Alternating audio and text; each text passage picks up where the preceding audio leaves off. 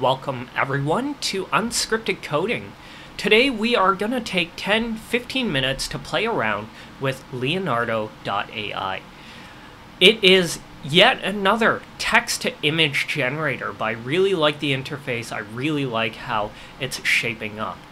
The first thing you'll notice is this is a early bird, um, sign up early type of uh, situation. So you want to sign up, you're probably going to have to wait a little bit. I didn't have to wait all that long for my invite to come in through my email, and it, it seems to me that it's it's not as exclusive as some of those earlier uh, invite systems. Anyways, you probably want to sign up for for it sooner rather than later but it is positioning itself similar to uh, OpenAI's DALL-E or Midjourney, in which they have a bit of a free tier, but they're looking for uh, people to start paying for tokens and subscriptions.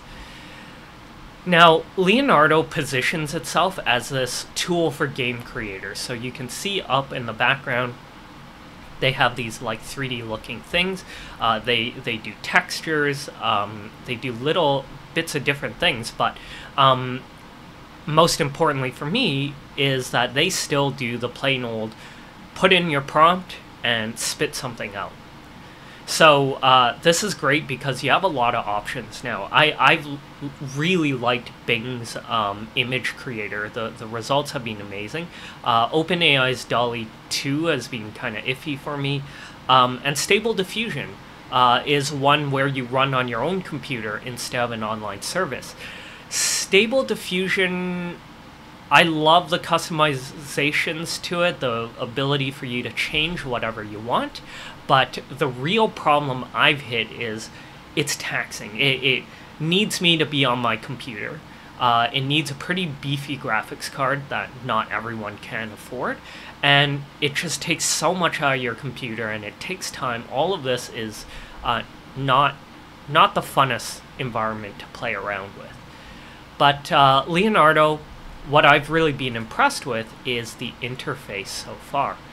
So um, let's let's just get right to it. Um, when you start the app, you're gonna see a lot of inspired images, a lot of featured images that uh, you know show you what's possible. And I, I took a few of these um, just to start myself off. This one looks ooh actually I love these coloring pages. Uh, you can take one of these and just remix it. So you can ask for um, you can ask that it generate something similar. Um, losing my train of thought here. Basically, it's copying the prompt over. And you can see there's prompt here, there's a negative prompt. But what I wanted to do is take a look here. It's using Dream Shaper 3.2, so that's good to know. When you remix, you'll see that it is the same style. You have negative prompts, you have the uh, actual prompt, it selected the right model, and what I'm going to do is just take a look at just two images. Now you can see that they're trying to get you to upgrade to a plan. And even through an API, this is not instant. It'll take 10, 15 seconds. But um, you have this, uh, different options, but the free tier is actually pretty generous you get up to 150 generations a day. Uh, they have this token system. Realistically, you're not getting 150 images a day. Um, you're probably getting half of that. But still, very generous. You have different options of background removals, pending jobs. All of it is to say that the free plan is quite um, quite generous in my opinion, and I haven't had much of a reason to jump forward in these. But if you're really building your own comic, building your own video game, you know, you're probably going to move up pretty quickly.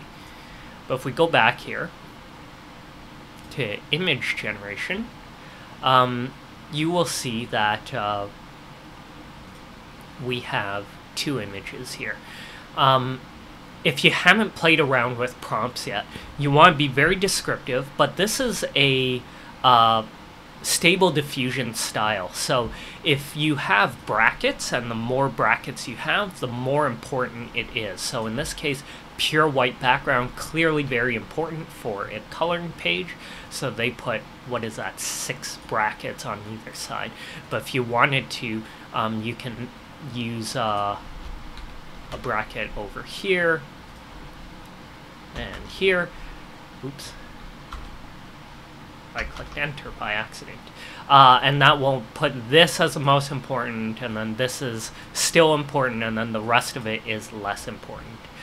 Um, negative prompts are things you don't want to see, and you see a lot of times as poorly drawn hands, six fingers, uh, you know, ugly, morbid. These aren't uh, helpful, but mut- mutation, deformed, a lot of these uh, occur because you don't want images that are typically AI like, which is, you know, six fingers, hands with six fingers uh, on them, uh, or people missing or having extra arms, legs uh, not heads usually, but different body parts. Um, so this is all stable diffusion stuff, and you can start generating, and you can see over here that they're using four tokens here. And I think this is because uh, I'm first generating two images here, so uh, that's two tokens, but each of them are multiplied by two because of the rest of the settings. So, um, let's go through this first. Um, on this side, you can see I have my 126 tokens, and in 19 hours, I'll get a bump back to 150. Uh, you're going to choose a number of images. If you want to be quick about it, you can do four. Um, usually, I do two and, and slowly refine my prompt until I have something I like or fairly close, and then I start generating four or more. Um, Leonardo has a couple really interesting things. I'm not sure how it's doing this, but um, this particular toggle, Prompt Magic, uh, supposedly makes it far more, pays far closer attention to what you've written. And if you use stable diffusion enough, it happens very often. They get the main idea, but there's something that you want that it just won't draw. So, for example, uh, I might have you know an epic battleground, and for some reason I want a Christmas tree in the corner. Um, I could put six brackets around the Christmas tree, and at times it just doesn't read it, it doesn't see it. Uh, prompt magic supposedly has greater prompt adherence. Uh, you can also do this by uh, guidance scale, which is um, can't remember what what it's called in stable diffusion, but it's also how basically how much it penalizes the, the model if it doesn't adhere closely to this. But for whatever reason, sometimes stable diffusion has blind spots. And I'm not saying Leonardo does not, but I have found that turning on and off the prompt magic makes a pretty big difference uh, in terms of how accurate and how closely it draws um, what you've asked it to. Um, the other thing is this actually doubles your token cost, so from 2 to now 4 when you enable it. Uh, there's a separate slider for strength, so how, how strong do you want their prompt magic uh, to, to, to uh, apply? and this is separate from the guidance scale, so keep that in mind. Uh, I'm not exactly sure how this prompt magic works behind the hood. Uh, the other thing that's interesting is this high contrast. It's it's meant to create more punchy kind of images, uh, moodier images with more shadows. Um, definitely delivers. I, I toggle it on and off here and there. Um, Image dimensions, I think that's fairly obvious. If you get too large, it starts to increase your token count. Um, I am a fan of, uh, no, not this way. Uh,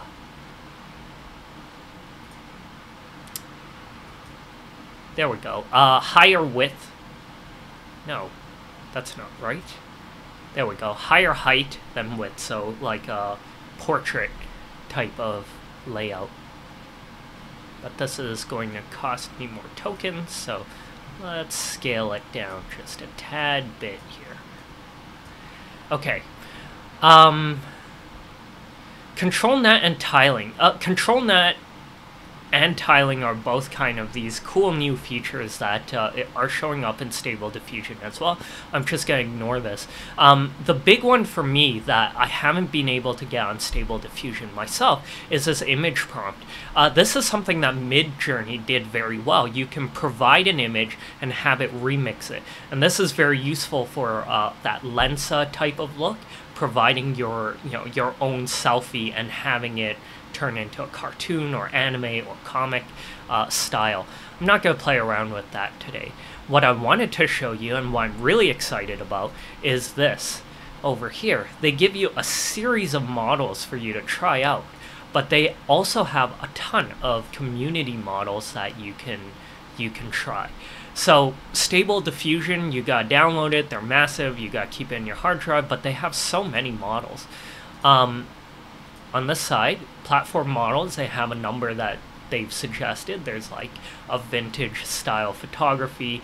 Uh, these ones are more for, I'd say, concept art type of things. Um, you know, uh, they have very interesting ones. I don't know why you would create one focused solely for magic potions, but why not? Um, lots of different designs here. Um, it's exciting because the community can upload all sorts of models too, and some of them are interesting, some of them are bizarre. Um, but you have so, so many options for you to choose from. So lots of anime. Uh, I love this kind of uh, 2D kind of look. Um, different styles. Like this is a really unique look, and I, I am going to go straight for this one. So let's see how this looks when we do that coloring page paired with ink and line art. For tokens, um, high contrast probably makes, uh, maybe not. Let's turn that off and see where we go.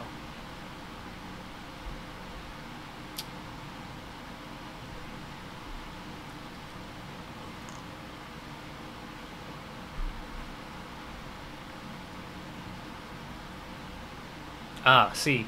Even with six brackets, the pure white background isn't doing it. Mm. And the look is just a bit odd too. So you can delete, download, unzoom. I don't know what that means.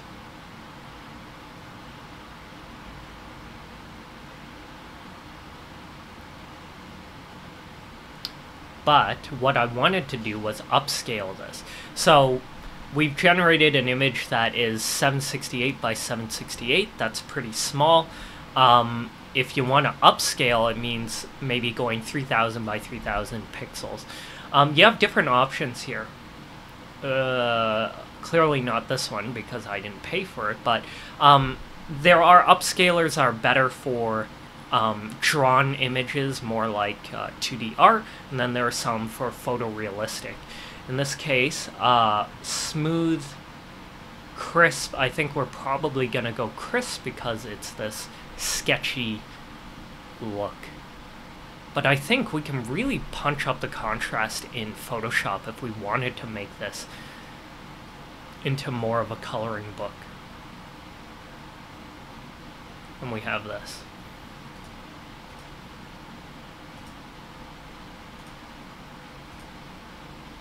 And we can download it.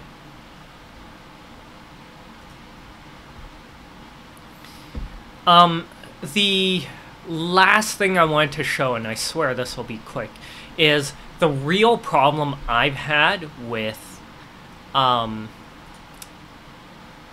the real problem I've had with using Stable Diffusion is uh, that all of this in painting uh, everyone's seen that demo of the Mona Lisa, and then some someone that would be outpainting, uh, trying to expand outside of that realm. What would be on the left and the right of Mona Lisa?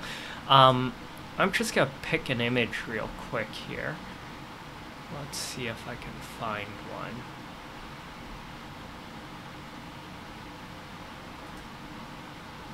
Oh, let's just move this one right back.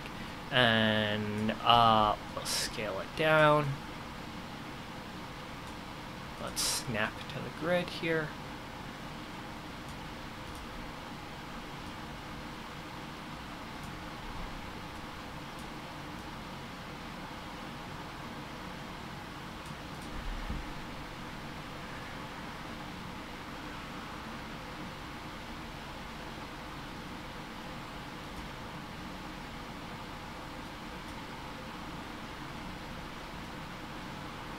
So, what if I wanted to expand this outwards a little bit? Wish I had a better...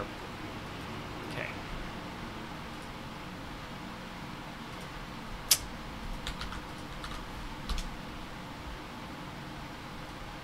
Oh, that's not what I wanted. I want to go back to my prompt. Okay, let's let's try this out. So we want to expand beyond what the image had originally generated. And I just find, find that this has been so much more intuitive um, and so much easier to use than Stable Diffusion on my own computer. Uh, we're going to get four different options, so this one is interesting, not bad. Um, not bad. Okay. I think that I think that last one is the closest bit. Um, but I'm not particularly happy. Let's let's go with Stable Diffusion 2.1 instead.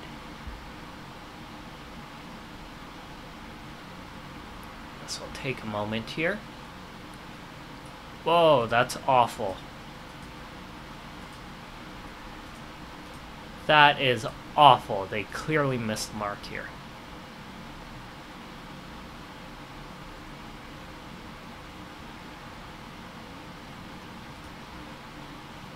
Actually, that's interesting. I like this one, so we'll we'll accept this one. Um, that's out painting, and then in painting, we're just gonna draw a mask, and we'll use a thicker pen here. Um, and I want to turn this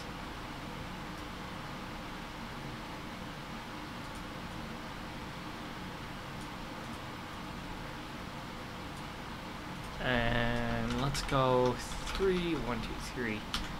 I want to stick an ear in here.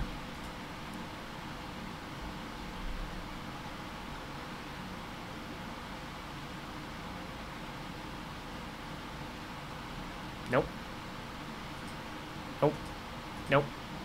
There we go. And we can accept. And then, as you use your tokens, you can slowly work this out. And so over here, I wasn't particularly happy here, so let's turn this into mouth and chin.